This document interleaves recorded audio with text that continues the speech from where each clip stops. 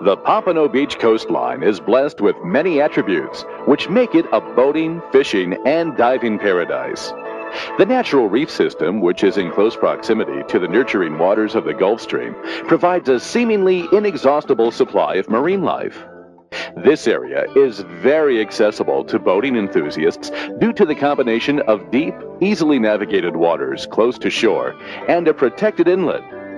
These natural elements produce a fishing hotspot, which spawned an economy based on fishing and tourism. In 1965, the Pompano Beach Fishing Rodeo was founded as an outgrowth of this economy. The original goal of the rodeo was to extend the winter tourism season into May to stimulate fishing and tourist related industries.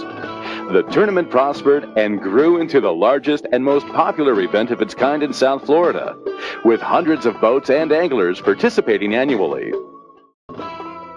Of course, this popularity added to the already heavy pressure on the fishing grounds off Pompano Beach. More significantly, environmental degradation related to population growth began to decimate the natural reef system. The formerly prolific fisheries of this area began to decline.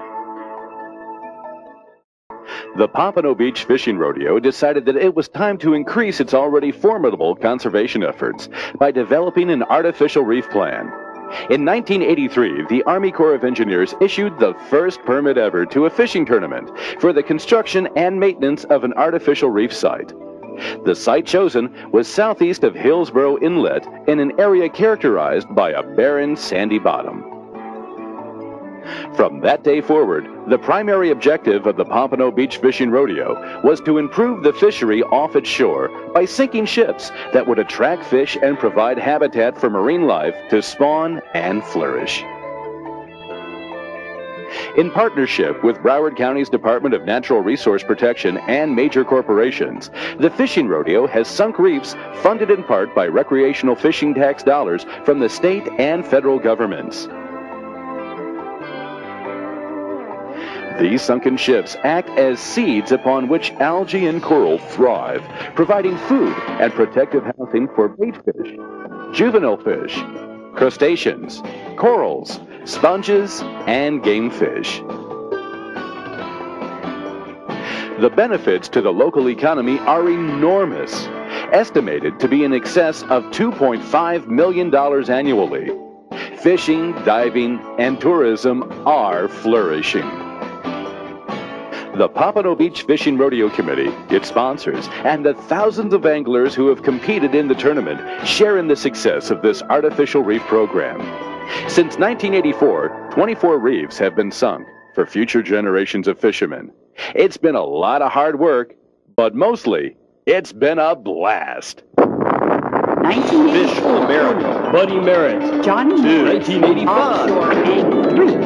Boating Magazine. Quattro. Five. Dan UFO's Bud bomb Crone, exploded and sank the 1987. 240 foot freighter Seymour. Citrus Miller Lite, the coast of seven. 1988. Citrus Bay is a former drug running ship now become 89. South Florida's newest artificial 1990. 11. Just less than three Ballman. minutes to sink to the Twelve. bottom. Outdoor World. Blast is part of this year's Papa's Beach Rodeo Fishing 25. Rodeo. Silver 1992.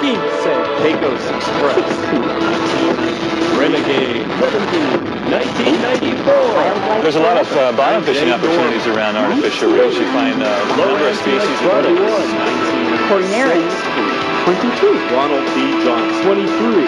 Chevron. 24. Mariner Outboard. 25. 1997. Guy Harvey. Guy Harvey. Dr. Guy Harvey. Thanks to the enthusiasm and generosity of this year's artificial reef sponsor, Dr. Guy Harvey, the Pompano Beach Fishing Rodeo's 25th artificial reef will be sunk on April 26th. Please join Guy and the Fishing Rodeo Committee in the celebration of this event. Trust us, it will be a blast.